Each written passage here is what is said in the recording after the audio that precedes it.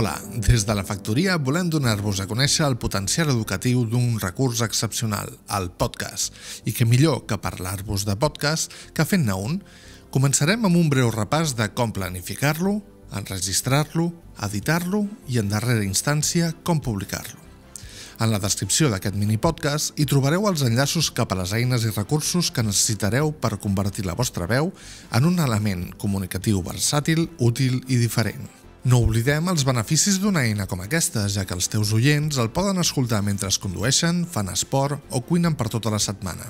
També pot ser un bon exercici que els teus estudiants facin un podcast explicant quelcom de l'assignatura, ja que és un element comunicatiu en plena expansió que pot oferir-los una eina potent més de cara al seu futur professional. Així bé, comencem. Planificar-lo. El primer que hem de decidir és el tema o els temes sobre els quals volem parlar. Un cop decidit i després de fer una selecció dels materials que volem incloure en el nostre podcast, és hora de crear un guió. El guió pot ser un escrit fet amb un simple processador de textos. La clau és no emprar frases massa llargues ni amb un vocabulari massa complex, sempre que sigui possible. En els podcasts informatius o docents és recomanable emprar una estructura clara i ben definida, que eviti confusions i malentesos.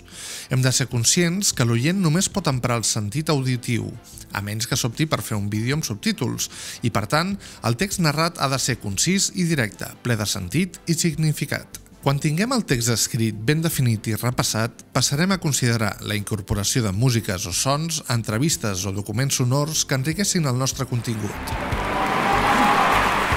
La part creativa sempre serà un plus a l'hora de crear continguts amens que, a banda d'informar, entretinguin i mantinguin l'atenció de l'oient activa. Tots aquests elements, ambients sonors, efectes sonors, veus de reforç, músiques i silencis, caldrà anotar-los en el mateix guió. Aquestes anotacions poden estar marcades amb colors, subratllats, parèntesi o de la forma que menys ens molesti a l'hora de locutar el text davant del micròfon. Una altra opció, si realment ens fa nosa tot l'afegitó d'anotacions, és crear dos documents independents, un amb el guió parlat net i l'altre amb les anotacions extres i de muntatge. Enregistrar-lo. Després de la planificació arriba la implementació i en els podcasts aquesta comença amb l'enregistrament sonor del que es vol comunicar. Hi ha diverses eines que teniu al vostre abast. Des de la factoria us oferim el servei de préstec gratuït de gravadores de so.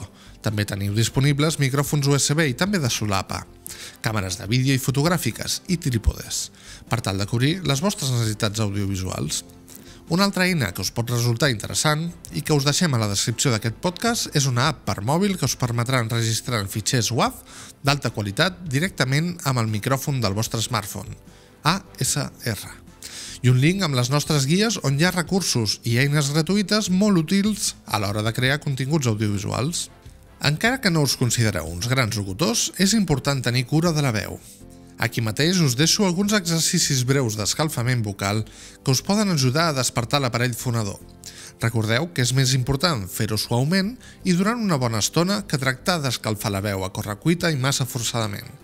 Això que us comento a continuació no és ben bé un exercici, però tenir el cos hidratat és el millor consell que es pot donar per tal de viure i parlar. Per tant, comença les sessions d'enregistrament amb una bona ampolla d'aigua al teu abast. El primer exercici d'escalfament l'anomeno la del despertar.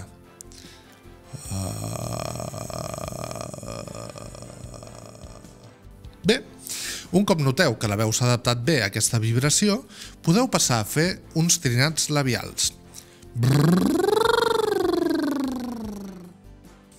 Acte seguit, podem despertar la llengua amb unes R's. I per acabar de posar-ho tot al seu lloc, podeu recitar el text amb un llavi a la boca en posició horitzontal. Segur que heu vist mil cops com es col·loca, però us deixo una fotografia a la descripció del podcast que ho il·lustra. El més senzill, un cop tenim la veu a punt, és posar a gravar i enregistrar-ho tot en una única presa bona. Si veieu que el text és massa llarg o complicat, o si necessiteu parar per beure una mica d'aigua o descansar la veu uns instants, sempre podeu aturar la gravació i començar des d'on us havíeu quedat. Creant una nova presa bona. Però no oblideu d'anar notant les preses bones per tal de no perdre temps en la fase d'edició, escoltant tots els àudios descartables a priori. Fixeu-vos que, al cap d'uns minuts de no parlar, la intenció o èmfasi de la veu varien, i si no locutem amb un to de veu semblant entre una presa i l'altra, es notarà els canvis de veu als talls. Uh, aquí en teniu un clar exemple. Els estats d'ànim d'una presa a les 7 del matí o d'un punt d'anar a dormir també es perceben com a diferents si després s'uneixen seguides. Un cop enregistrat tot el material, descarregades les fonts sonores necessàries i ordenat tot en carpetes per tenir-ho ben endreçat, passaríem a la fase d'edició. Editar-lo. Arribats a aquest punt, el que queda us pot fer una mica de por, no té per què. Penseu que el més important dels podcasts, segons la meva opinió, és que el contingut sigui realment interessant. Si és així, una mica de soroll, una veu fluixeta però intel·ligible, alguns espais en blanc o qualsevol cosa suportable i fàcilment obviable per la nostra atenció, no serà obstacle perquè la gent gaudeixi aprenent del que nosaltres compartim i dominem.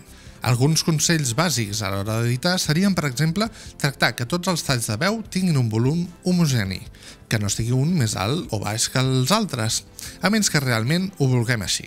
Com a punt final, dir que hi ha a qui li agrada editar i qui no ho suporta. Si ets dels segons, sempre pots fer un intercanvi amb tasques que se't doni bé fer i que t'agradin, amb algú que li encanti les línies de temps dels editors de so.